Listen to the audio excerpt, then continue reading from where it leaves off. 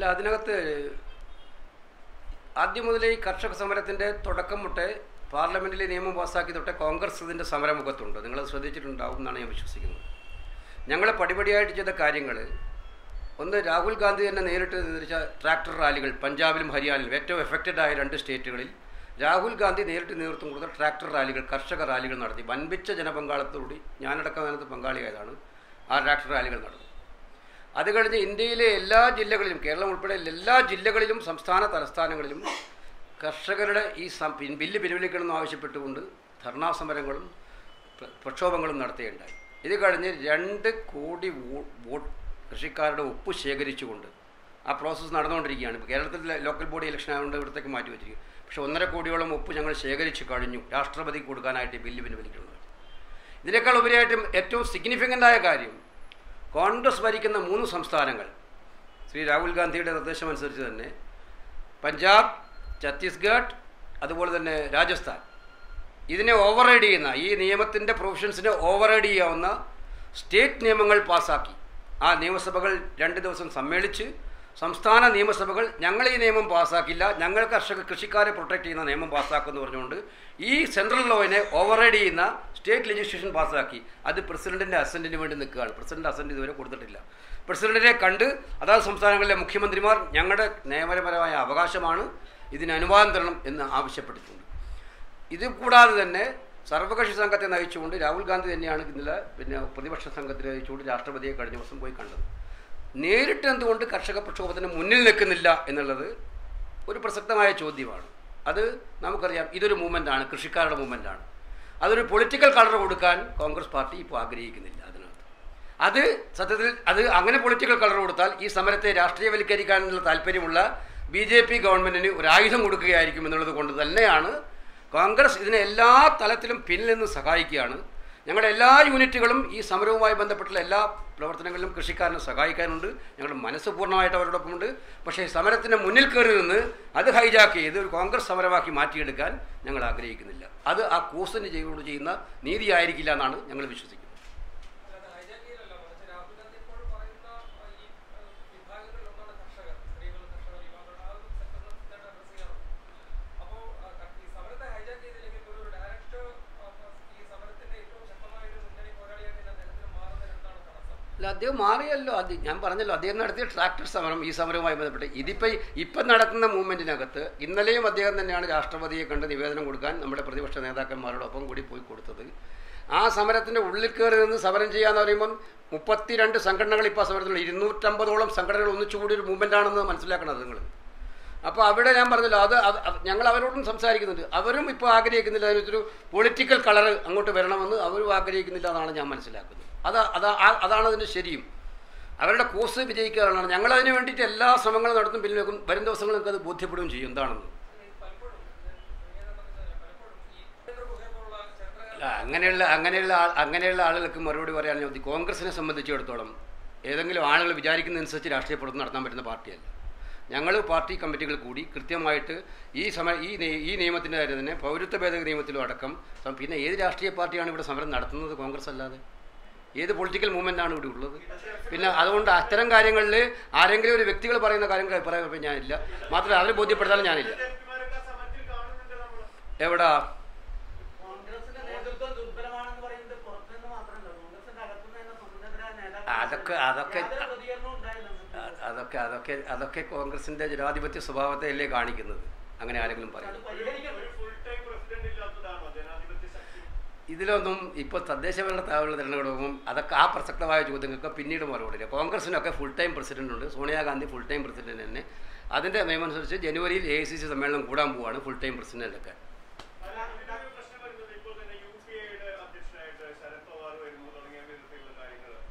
ആര് പറഞ്ഞു നിങ്ങളോട് ഇത്?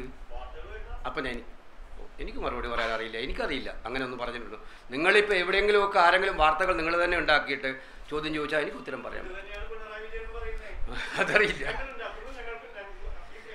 അല്ല ആ ഉത്തരവ് ഞാൻ പറഞ്ഞു ഞാനിപ്പോൾ കോൺഗ്രസിന്റെ A I C C general secretary അല്ലേ? എന്റെ ഉത്തരവാണ് ഞാൻ പറയുന്നത്. അങ്ങനെ ഒരു ചർച്ച നടന്നിട്ടില്ല അങ്ങനെയുള്ള കാര്യം എനിക്കറിയില്ല. കോൺഗ്രസ് പാർട്ടിക്കും അറിയില്ല പക്ഷേ അങ്ങ് ഉത്തരവാദിത്തപ്പെട്ട ആളാണെന്ന് തന്നെയാണ് ചോദിക്കുന്നത്. അങ്ങയിൽ നിന്നാണ് കൂടുതൽ വ്യക്തത കിട്ടാന്നുള്ളത്. കാരണം പലപ്പോഴും ആ, രാഹുൽ ഗാന്ധി ഇക്കാര്യങ്ങളിലൊക്കെ വളരെ committed ആയിട്ട് നിൽക്കുന്നത് തോന്നിക്കുമ്പോഴും അദ്ദേഹം ഒരു മോഡിയെ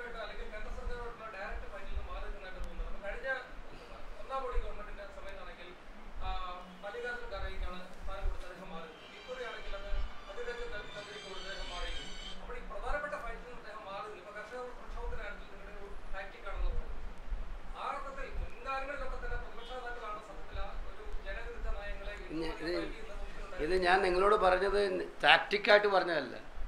എന്നിട്ട് ഇനി ഞങ്ങൾ മാത്രമല്ലല്ലോ എല്ലാ രാഷ്ട്രീയ സംഘടനകളും തന്നെയാണ് രാഹുൽ ഗാന്ധി ഒരു ഫൈറ്റിൽ നിന്നും പിന്നോട്ട് പോയിട്ടില്ല. ഇന്ന് നരേന്ദ്രമോദിക്കെതിരെയും ബി ജെ പിക്കെതിരെയും ആർ എസ് എസിനെതിരെയും ശക്തമായിട്ട് പോരാടുന്ന ദേശീയ നേതാക്കളിൽ മുന്നിൽ അദ്ദേഹം തന്നെയാണുള്ളത്. അദ്ദേഹം അദ്ദേഹം യാത്ര ഹത്രാസിലെ യാത്രയായാലും കർഷക സമരത്തിലെ അദ്ദേഹത്തിന്റെ ഇൻവോൾവ്മെന്റ് ആയാലും വരുന്ന ഇഷ്യൂസിലെല്ലാം അദ്ദേഹം ശക്തമായി പ്രതികരിക്കുന്നുണ്ട്. പിന്നെ ഞാൻ പറഞ്ഞല്ലോ ഏത് രീതിയിൽ പ്രതികരിക്കണം ഏത് ഭാഷയിൽ പ്രതികരിക്കണം എങ്ങനെ പ്രതികരിക്കണം എന്നൊക്കെ ഞങ്ങളുടെ പാർട്ടിക്ക് വിട്ടു തരിക. ഒരു അഭിപ്രായ വ്യത്യാസവും ഇല്ല. എ ഐ സി സിയും കെ പി സി സിയും ഒരേ രീതിയിൽ തന്നെ എഴുതിയാണ് സംസ്ഥാനങ്ങളുടെ വിഷയങ്ങൾ പൂർണമായിട്ടും അവരാണ് പറയുക. അത് എല്ലാ പാർട്ടിയുടെയും കാര്യങ്ങൾ തന്നെയാണ്.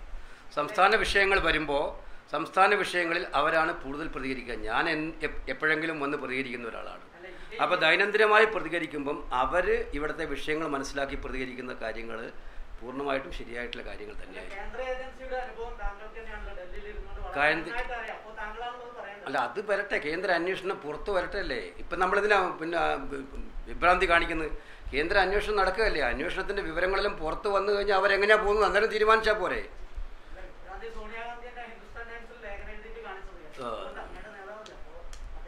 ഞങ്ങളെ സംബന്ധിച്ചിടത്തോളം അക്കാര്യത്തിൽ വളരെ വ്യക്തമായ കാഴ്ചപ്പാടുണ്ട് കേന്ദ്ര ഏജൻസികളുടെ അന്വേഷണം നടക്കട്ടെ. നടന്നിട്ട് അത് നടന്നതിനകത്ത് നമുക്ക് വിലയിരുത്താം. അവർ ശരിയാണോ തെറ്റാണോ ചെയ്യുന്നത്. അന്നേരമല്ലേ നമ്മൾ വിലയിരുത്തേണ്ടത് അത് വിലയിരുത്തും. ഓക്കെ.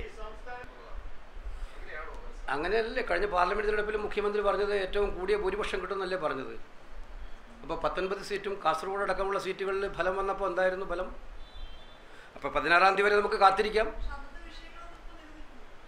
ഓരോ തെരഞ്ഞെടുപ്പിനും ഓരോ വിഷയങ്ങളുണ്ട്. ജനങ്ങളുടെ മനസ്സിൽ എന്താണുള്ളതെന്ന് എനിക്കും നിങ്ങൾക്കും കൃത്യമായിട്ട് അറിയില്ല. അവർ വോട്ട് ചെയ്ത് കഴിഞ്ഞ് പതിനാറാം തീയതി ഫലം വരുമ്പോൾ കൃത്യമായിട്ട് അറിയും. ഞങ്ങൾ പ്രതീക്ഷിക്കുന്നു. ഞങ്ങൾക്ക് കിട്ടുന്ന ഫീഡ്ബാക്ക് അനുസരിച്ച് ഞങ്ങൾ പറയുന്നു. ഞങ്ങൾ ജയിക്കും.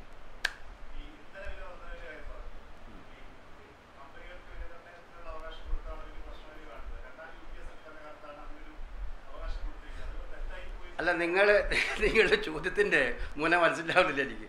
ഇന്ധന കമ്പനികൾക്ക് വിലനിർണയാവകാശം കൊടുത്ത കാലത്തെ ഇന്റർനാഷണൽ ക്രൂഡ് ഓയിൽ മാർക്കറ്റിന്റെ വില എന്തായിരുന്നു? അന്നത്തെ സാഹചര്യം എന്തായിരുന്നു? ഇപ്പോഴത്തെ ഇന്റർനാഷണൽ ക്രൂഡ് ഓയിൽ പ്രൈസും അതിന്റെ സാഹചര്യം എന്തായിരുന്നു? അന്ന് ഇന്ധന വില നിർണയാധികാരം കൊടുത്തിട്ടും വില കുറയ്ക്കാൻ വേണ്ടി സബ്സിഡൈസ് ചെയ്തു കേന്ദ്ര ഗവൺമെന്റ് ഒരു ലക്ഷത്തി ഇരുപത്തയ്യായിരം കോടി രൂപ സബ്സിഡിയായി കൊടുത്തു പാവങ്ങൾക്ക് വില കുറച്ച് കൊടുക്കാൻ വേണ്ടി. സാധാരണക്കാർക്ക് പെട്രോളും ഡീസലും.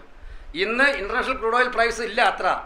നിങ്ങൾക്കറിയാമല്ലോ അതില്ലാഞ്ഞിട്ടും ഇവിടെ ടാക്സ് ഇമ്പോസ് ചെയ്യുക എന്ന് എക്സൈസ് ഡ്യൂട്ടി അങ്ങനെയാണ് ഈ വില വർദ്ധിപ്പിക്കുന്നത്. അപ്പോൾ അതുമായിട്ട് എങ്ങനെ കമ്പയർ ചെയ്യാൻ പറ്റും? അല്ല അവകാശം കൊടുത്തതിന്റെ ഗുണം കിട്ടേണ്ട കാലമാണിത്. അവകാശം കൊടുക്കുന്നതാണ് എണ്ണ കമ്പനികൾക്ക് വില നിർണയിക്കാൻ അവകാശം കൊടുത്തത്. അവരന്ന് പറഞ്ഞുകൊണ്ടിരുന്നത് ഇന്റർനാഷണൽ പ്രൈസ് ഭയങ്കരമായി കൂടിക്കൊണ്ടിരിക്കുകയാണ്. അപ്പോൾ കേരള കേന്ദ്രത്തിലൊരു പൈസ നിശ്ചയിച്ചാൽ ഓരോ ദിവസവും കൂടിക്കൊണ്ടിരിക്കുന്ന വിലയ്ക്കനുസൃതമായിട്ട് നമുക്ക് വിൽക്കാൻ പറ്റില്ല. അപ്പോൾ അതിന് ഫ്രീഡം തരണം. അതെന്തിനാണ്?